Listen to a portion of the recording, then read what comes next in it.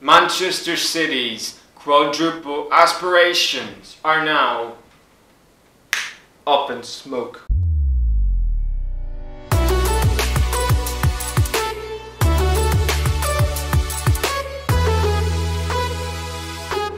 Hi, it's Sinatro here and welcome back to yet another video on the channel and it's another predict show. Me predicting matches for this weekend, six in total. And let's begin with Manchester City versus Tottenham Hotspur and the third episode of this great, amazing duo. Give me your cards, punk! Go fuck yourself. And Spurs knocked out Man City. They tossed them to the curb. Pep Guardiola's crying his eyes out. Thinking, why the fuck did I spend all this money? Tottenham Hotspur didn't even spend a dime, and we can still cannot win the Champions League. But I give credit to Spurs. I think they've been excellent, to be honest this season. I mean, yes, they're, they're, going through a rocky patch at times, and every team goes through that. But Pochettino, stock value is literally getting up, up, up, up, and up. What a remarkable job he's done at Tottenham. He's took Tottenham from a bang average side that literally couldn't even get top four. A team challenging for the Premier League title with an extra one. A team that was runner-up in the Premier League when Chelsea won it, a League Cup final, an FA Cup semi-final, I mean, and now a Champions League semi-final. What Pochettino is doing at Tottenham with the resources he has been given is, is quite astounding, really. And I wonder if Manchester United regret not getting him and signing Ole Gunnar Solskjaer. Why wouldn't you look at me during? but, I'm not going to talk about Manchester United. We'll give Spurs a lot of praise. Son has been for me. I think he's been toughest player of the season this season, Son. What a season he is having. Goals in big games. He has stepped up the game against Borussia Dortmund. You think against Man City when when when Harry Kane got injured, you think, oh no, Higher Spurs going to knock City out. They've got Sonaldo for goodness sake, who scored a big goal. It was offside, natural. Doesn't matter. Who gives a damn? It was it was a good goal.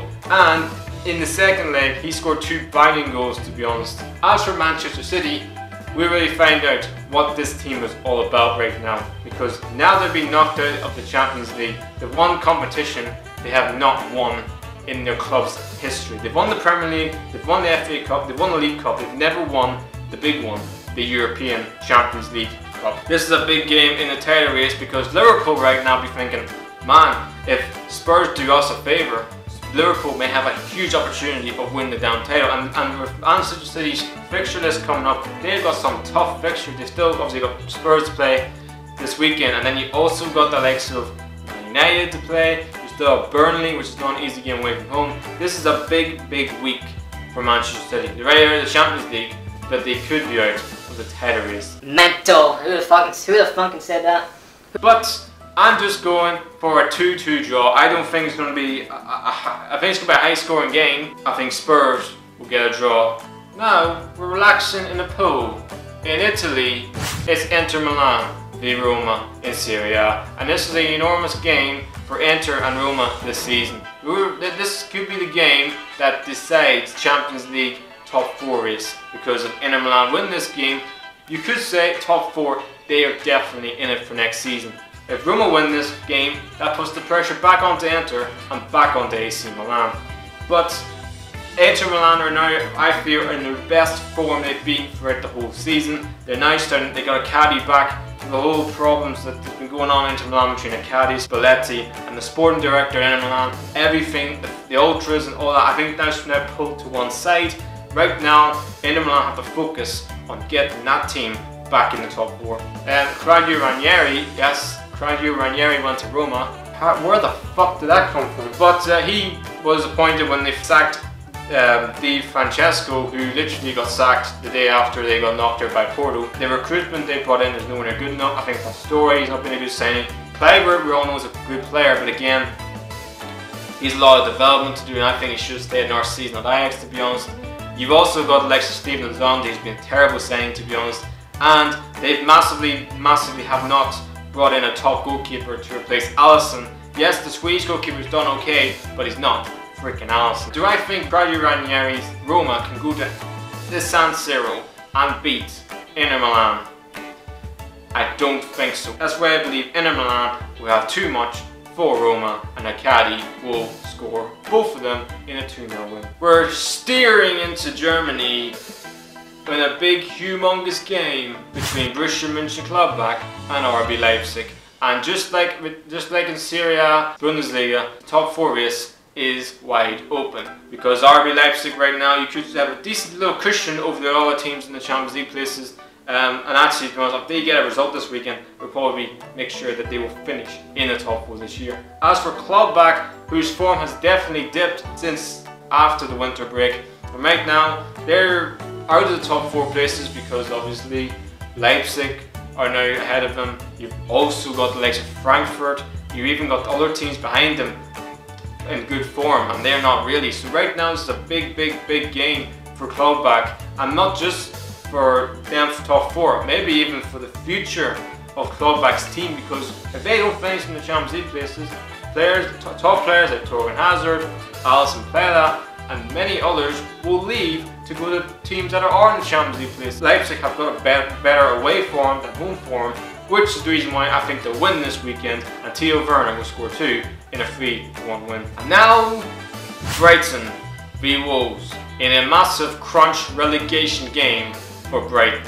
And Brighton right now are in a huge mess, no question about it. Why? Because they were humiliated last weekend against Bournemouth and they had a big game midweek against Cardiff City. If they don't lose that game, five point cushion over Cardiff, you think, okay, with the remaining fixtures for Cardiff City, four to go, I don't see them getting two wins from them. But what happened? Cardiff legit went to Brighton, the Amex Stadium, and beat them down big time. It was literally, I couldn't believe what I was watching from Brighton. Brighton really are in big trouble, big trouble. Chris Hughton has to find a way of motivating, motivating his squad, his players. They can't stay up, they still got the two point cushion. But to be honest, right now, they're in terrible form. And to be honest, since that amazing start to season they had Brighton, right now it's all come crashing down. Wolves, on the other hand, um, they haven't been any better either because they're pretty much just enjoying the sunset. Can't wait for the summer to be honest. But yes, they still have a chance to finish seventh this year. And the fact of the matter is, they've had a fantastic season. FA Cup semi-final, and they could finish seventh. Best of the rest. Nuno Espirito Santo has done a remarkable job there. He's one of my managers of the season. I don't think he'll get. I don't think he'll get manager of the season. I think that way to go to Jurgen Klopp. I, I think they will comfortably beat a Brighton team who I believe are going down 3 0 Wolves. Because we're heading to Spain and it's Getafe versus Sevilla. And Getafe has been, for me, one of the teams of the season. They've really impressed me this season, Getafe. I, I think this team could legitimately have a chance, chance of finishing the Champions League places. Absolutely not. You think of like Sevilla and Valencia, who have bigger squads and obviously better quality of players. It's a street fight between, at this moment in time, Getafe and Sevilla. Who, do, who will come out in this big, enormous game for the Champions League places? That last Champions League spot in La Liga, I believe Sevilla wouldn't be too much going forward and too much to handle for Getafe, and I think Sevilla will win 2 0. And that just leads the last game in Liga is PSG versus Monaco. And Paris Saint Germain, all they needed was a point from the remaining fixtures, and they're winning another Liga title yet again. Well, it's not happening.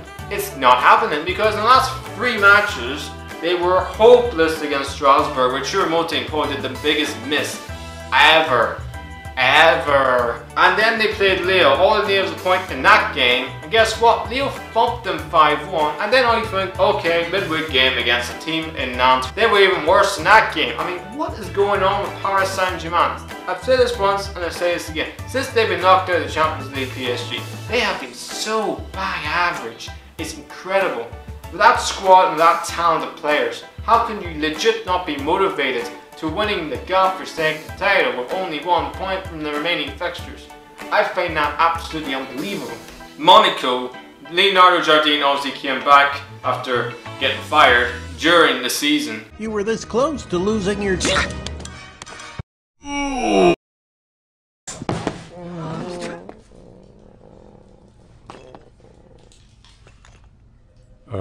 And he came back and he's put that all to bed. He could have came back and said, you know what, fuck Monaco.